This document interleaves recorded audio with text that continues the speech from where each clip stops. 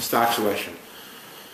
Volume. Um, volume is important because it tells you how many shares a day a stock's traded. Okay? So if you have Apple, what's the volume on Apple?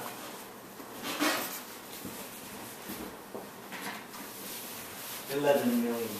Okay, 11 million shares bought and sold. So that's that's a, a, a huge company.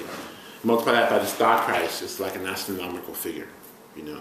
So Apple's huge. Now, why is that important? Because there's so many people in Apple.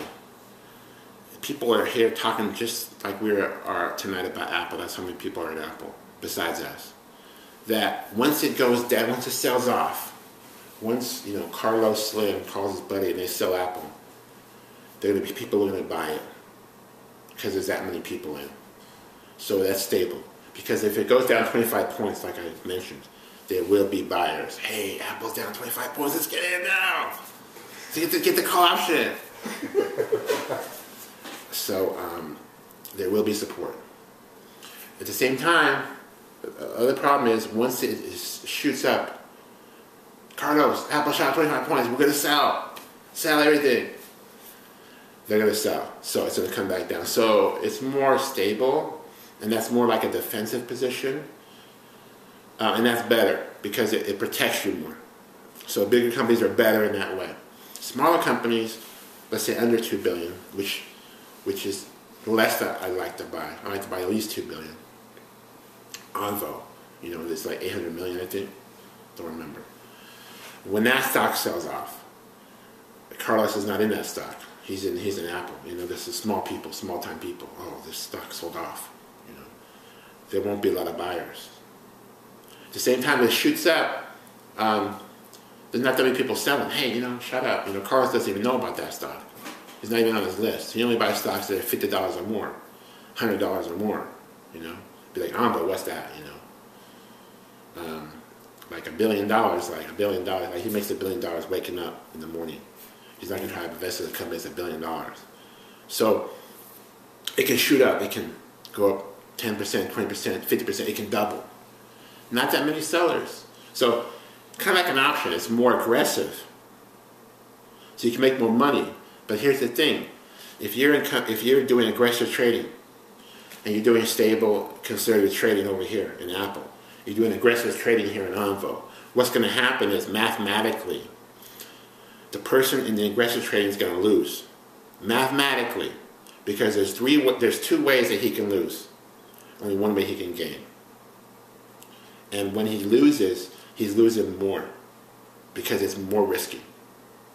But the, uh, the other guy with an apple, he's going to be mathematically better off because he's not going to make as much money, but he's not going to lose as much. And when you lose is worse than when is, is when you lose is, is stronger than when you gain in, in a bad way in a good way.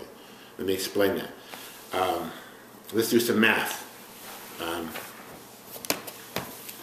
say we get it to, to a stock. So give, so give me a return you want to make. What percent you want to make a return? Um, well, let's go with 4%. 4%. So, so you get started with 100K. And what will you come out with when you make your 4%? Four thousand. 104k. Okay? Conservative, you made your money, pay your bills, come back the next month. But if you, but if you um, lose money, like in an aggressive stock, give me an amount, give me an amount of money that's too much to lose. Uh, on the whole portfolio or on one stock? Just one stock, like a percentage. Uh, well, I don't know that number, but let's say that your that your the total goal is to make four percent. Let's say two percent. I don't know. Okay, so if you lost like twenty five percent, that would be acceptable, right? Okay, so oh, here's the total portfolio. Yeah, on the yeah. position.